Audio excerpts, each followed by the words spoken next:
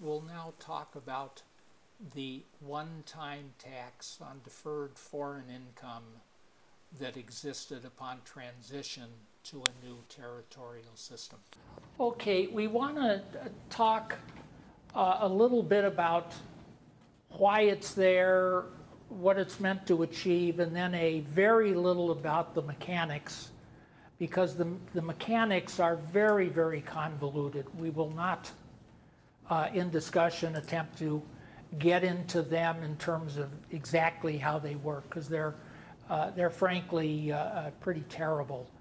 Um, which is why final regulations, which were issued, uh, I think just this uh, this last week, if I remember correctly, they run to like 300 pages, which is typical of of a lot of these these new areas.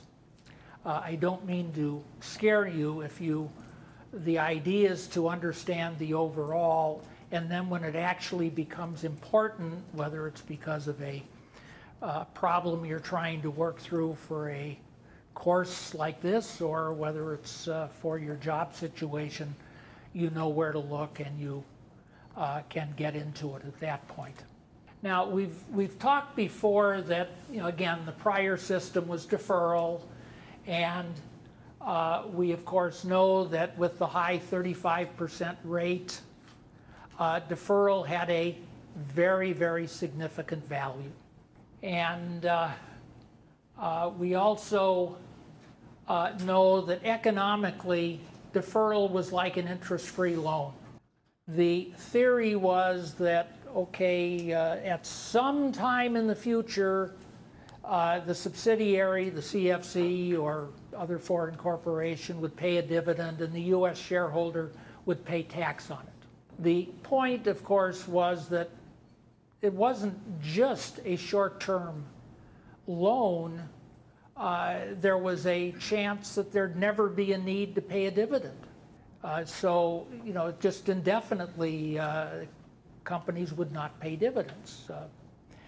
Uh, there was uh, there was an amnesty, uh, sort of a bring the money home holiday in 2004 that allowed a five and a quarter percent rate instead of the 35 percent rate.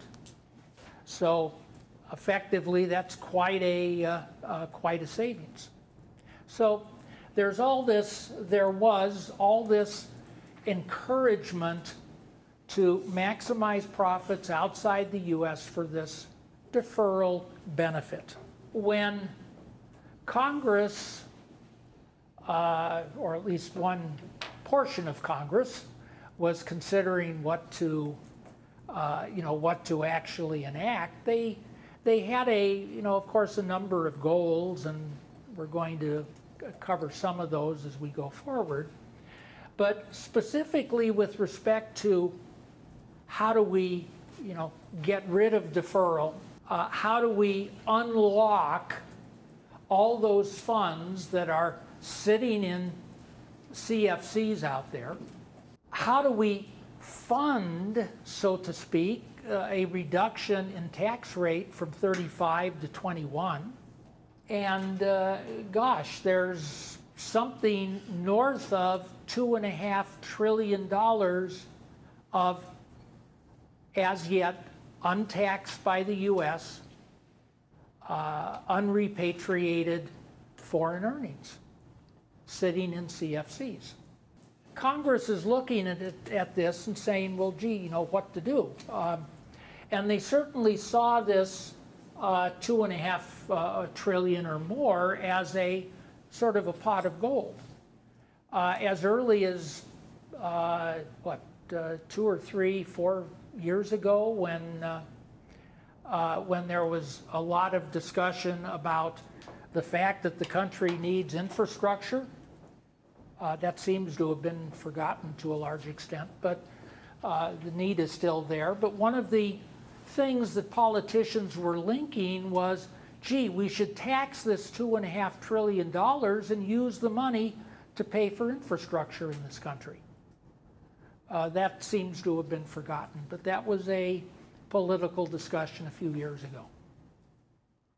What happened was that when tax reform actually occurred at the end of 2017, and uh, they decided that they would uh, have this big tax cut and the figure of one and a half trillion dollars of you know increased deficit because of the tax cut would uh, would be there. This uh, this savings so to speak from trying you know from somehow taxing this uh, two and a half trillion or more that was seen as one of the things to reduce the to the one and a half trillion cost, which was obviously, as they did the numbers, was too much above the one, one and a half trillion that they were trying to limit it to. Uh, in the build up to the final passage of the thing, the percentage amount of tax that would be attached to this, uh, you know, kept getting a bit higher and higher. Uh, discussions over time now, again, the high of 20% you see there at the bottom, the proposed rates in prior congressional and administrative administration proposals. Um, it was uh, uh, the Democratic side that had recommended the 20% and um, the 3.5% uh, uh, came from the uh, Republican uh, head of the uh, House Ways and Means Committee, if I remember correctly. Uh, uh, Dave Camp was the uh, was the representative who has since uh, retired. Uh, in any case, what we ended up with was a split rate. If we if we think about what a balance sheet looks like, you know, we have assets over here, and we have liabilities and capital. If we look at the, uh, and, and if we assume that this is a real, you know, a real operating business, this is not, uh, so to speak, just monkey business. Uh, if we say this is a real operating business, then we see that there will, of course, be some cash. There will be inventory, maybe. There will be uh, property, plant, and equipment. There will be uh, uh, other assets, etc. If we look at uh, just one example, I before uh, coming to class, I I took the opportunity to look at uh, the Form 10K for Apple for for the last couple of years the Form 10Ks. Using very, uh, uh, very round numbers, the balance sheet for their CFC, their balance sheet for what they refer to as foreign, their foreign business, which I would suspect is, for the most part, uh, mostly within one, uh, one group of companies, but you know, maybe I'm uh, wrong. Uh, uh, in any case, they had cash was this 250 billion that I mentioned, and PP&E uh, was give or take a little bit, let's say uh, in very round numbers, 25 billion. Now, it makes sense, of course, that a company that's in a real operating business will reinvest some of its earnings in additional inventory, property, plant, and equipment, uh, other assets. Uh, but needless to say, uh, in their case, the 250 is a mite high for the actual needs of their business. Now, recognizing that this 250 could have been dividended, dividended back, the uh, Congress, in its, uh, in its, of course, wisdom, said, well, gee, uh, the cash balances we should tax higher than earnings which have been reinvested in, in a business. So we ended up with these percentages that any earnings that were held as cash or other liquid assets, 15.5% would be the tax rate. Now, again, that may sound high, but the amount, the rate that they would have been taxed at if the money had been paid back as a dividend uh, was 35%. In the rate that would have applied had they paid dividends would have been 35%. Uh, any remaining earnings, in other words, to the extent reinvested in the business, that would be at this 8% rate, which of course is much lower. This was the, uh, this is what they came to as a mechanism to grab some amount from all of these accumulated earnings and reduce, in a sense, uh, the overall cost of the Tax Cuts and Jobs Act. Now, you might say, well, gee, what about the foreign tax credit? Remember, uh, that's something we've talked about uh, maybe uh, ad nauseum, if, uh, uh, if you want to use the right word. Well, the foreign tax credit enters into that. To the extent that tax, foreign taxes are paid with respect to the earnings that are taxed at 15.5%, then the proportion of foreign taxes relative to that will be allowed as a credit. Similarly with the 8%.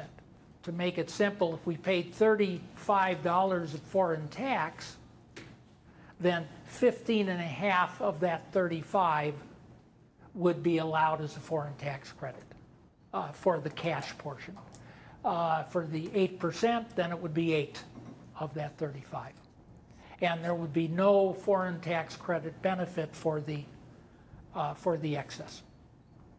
Why? Well, if you're not going to be taxed by the U.S. on the the 35 minus the 15 and a half, then the U.S. should not be granting a foreign tax credit benefit in relation to that. So there's, uh, of course, some logic to that. Now, note that uh, the 15 and a half and 8% rates uh, technically apply to all taxpayers, and for corporations, uh, those are pretty much the percentages. For individuals, the way it works out, and again, this is this is uh, pretty convoluted. Uh, it'll depend on what the tax bracket is of the individual as to what his uh, what his actual benefit uh, or tax cost is on these. First of all, this section 965 is within, uh, let's say, subpart F of the, uh, of the uh, code. The manner of collecting it is within subpart F. And this was, I'll call a convenience. You know, we've talked before about the fact that the U.S. has no jurisdiction over uh, a foreign corporation, whether it's a CFC or not, unless that foreign corporation has U.S. assets or conducts a U.S. business or, you know, has some connections with the U.S. Uh, in terms of its property and its activities. But in this case, since the U.S. is trying to collect tax money that is measured by assets that are inside the foreign corporation. It used the subpart F mechanism because the mechanism is there to grab the shareholder with respect to, you know, uh, to grab the shareholder, collect the tax from the shareholder, although the amount of tax is measured by uh, what assets and what earnings are inside the subsidiary. So again, jurisdiction trumps you grab the tax from the shareholder, not directly from the corporation that actually holds the assets. Uh, this term, which you'll find in section 965, deferred foreign income corporation, that uh, is specifically defined uh, as any foreign corporation that is a CFC or any foreign corporation that has a 10% or greater U.S. corporate shareholder. I frankly have no idea why they did this, but you have a, a real crazy situation here. Two companies that uh, may appear, or in terms of their activities and earnings, might be uh, might be the same. In other words, let's say one where you have one individual that owns, uh, let's say, 40% of a company, and then there's, let's say, some uh, non US shareholder that owns the 60%. This is not a CFC. There is no corporate US shareholder. So as a result, this would not be covered by 965 and the individual uh, will never be taxed on his share of the earnings that are down here. Except, of course, in the event of an actual distribution. On the other hand, if we have the same situation except that uh, let's say, uh, let's say this is 30 instead of 40, and we have a U.S. corporate shareholder, which owns 10. Now, 965 does apply, and both the individual and the, uh, the, the U.S. corporation have to pay this transition tax this doesn't make a lot of sense uh, to me. Uh, maybe there's maybe there's a good logic, but uh, I just don't see it. Uh, there's again uh, a lot of detail. I will not go into it. If you, I certainly uh, say if you have some interest, by all means, sit down with the code and read through the stuff. I certainly recommend that, but it's it's it's very convoluted and uh, uh, not, uh, not one of the easier sections in the uh, code to deal with. Now, uh, what's the timing?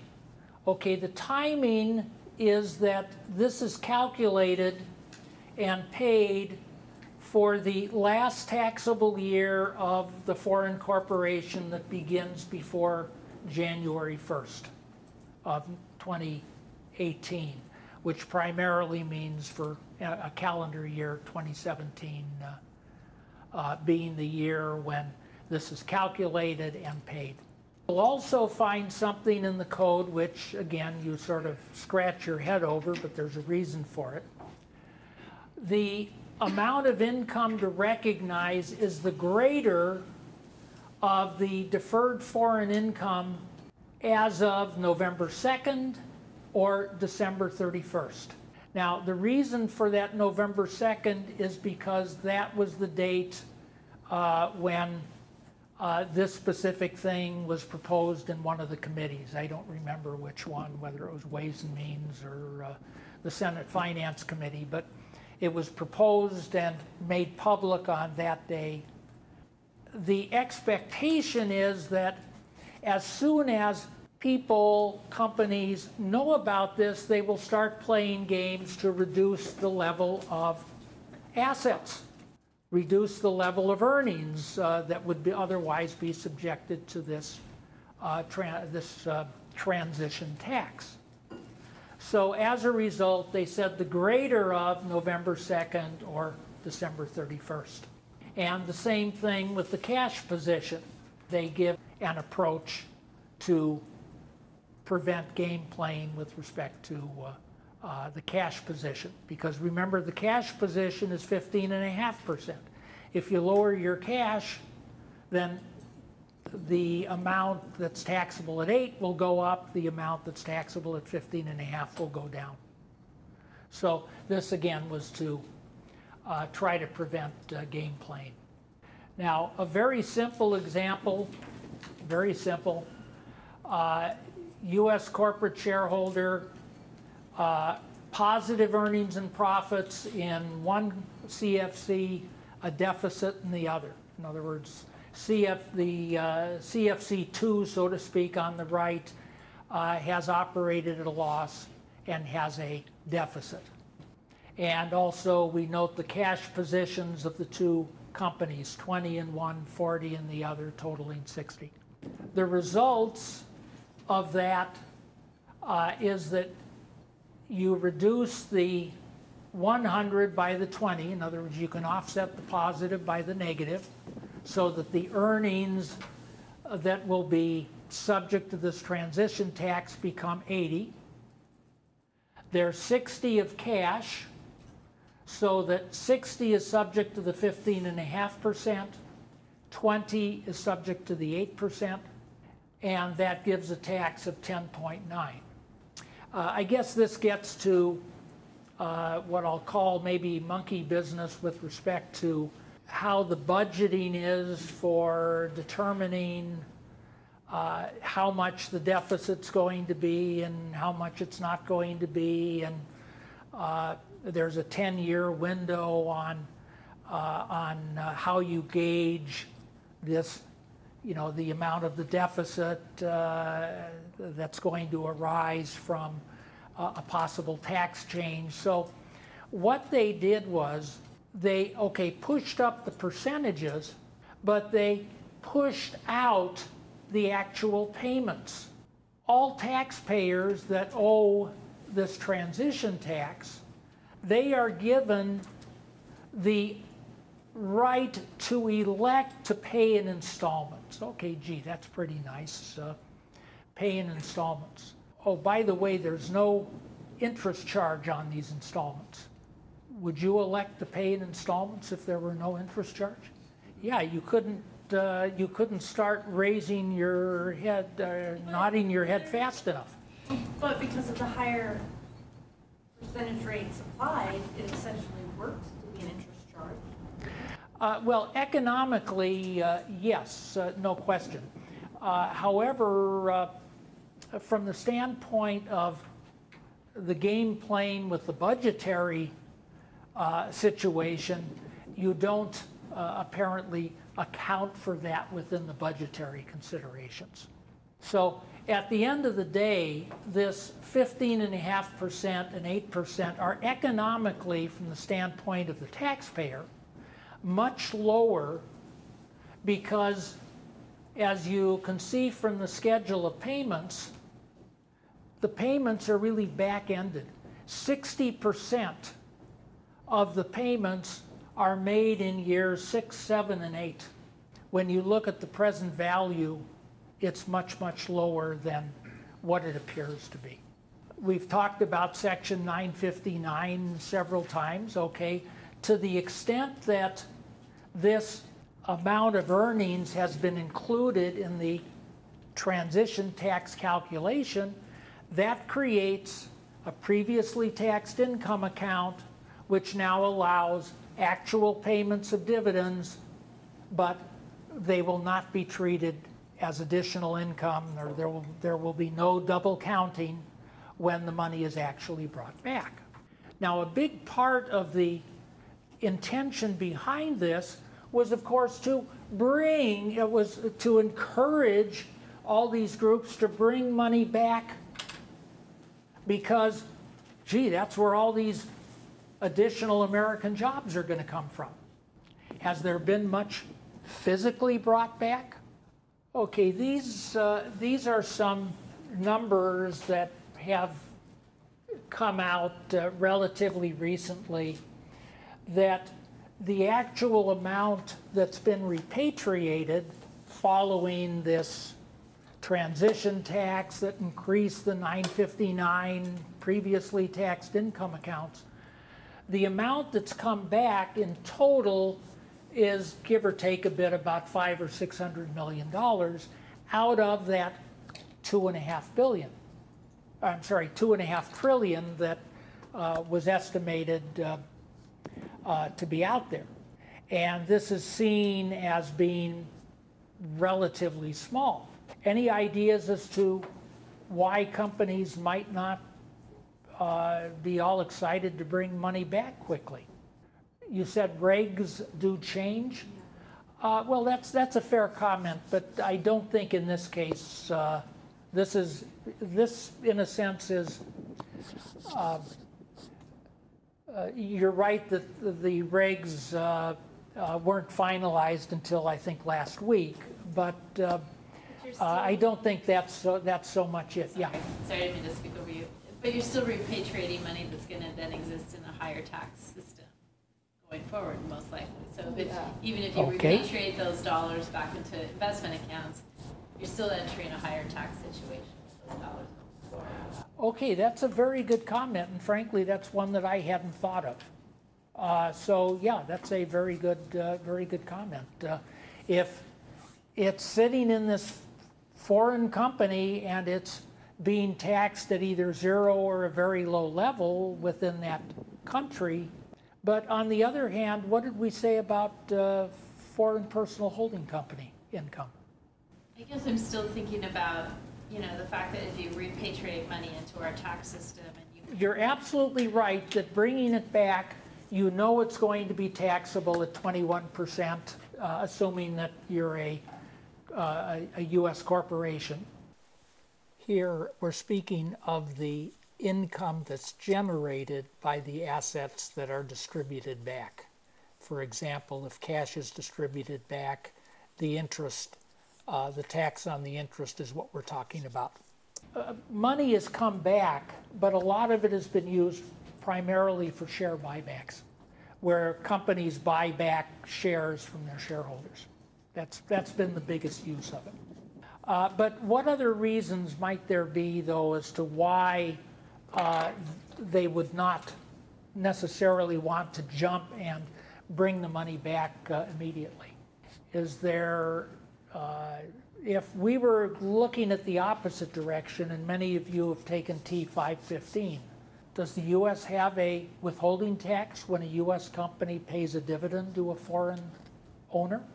Okay, so in some cases, some of this uh, two and a half trillion is sitting in a country where there would be a withholding tax on the dividend when it's distributed to the uh, to the U.S. Uh, parent. Now that sort of gets back a little more to your point. Well, gee, it's better to keep it where it is because maybe it's being taxed low in that country. Now, there, remember again, getting back to subpart F for a moment, this kind of income on those cash balances, dividends, interest, capital gains on investments and so on, all of those things are included in foreign-based company uh, income, I'm sorry, uh, foreign personal holding company income. And as a result, the earnings on those will generally be taxable immediately to the shareholder in the United States anyway, the earnings on it. So it's probably other factors, withholding taxes, or maybe they really don't have a, an immediate need in the US for the money. Yeah, what's, what's the incentive to repatriate? You're gonna have administrative costs as well to kind of reorganize and move stuff around. Yeah. Why bother? And sort of getting back to your point, not so much the regulations, but maybe other rules will change that make it beneficial to still have that money in the, uh, the overseas company. It's getting to uh, a, a- a corollary of your point. So anyway, there's been this situation and uh, uh, relatively speaking, not a lot has come back. And there's been a lot in the press that, uh, gee, uh, there was uh, the Tax Cuts and Jobs Act didn't effectively cause the money to come back home. Okay, now any, uh, any questions on the transition tax? We'll then, uh, in the next, in, well, this slide deck, but uh, we'll next talk about, uh, at the next session, we'll talk about uh, there's FDII, there's GILTI. Uh, those, uh, those are the principal things that uh, we'll be talking about. So uh, any, any questions or do you want to escape? Yeah, I'm asking you, Michael.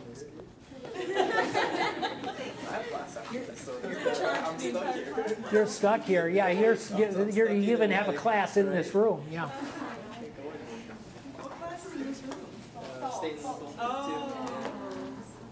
Okay, well, thank you very much.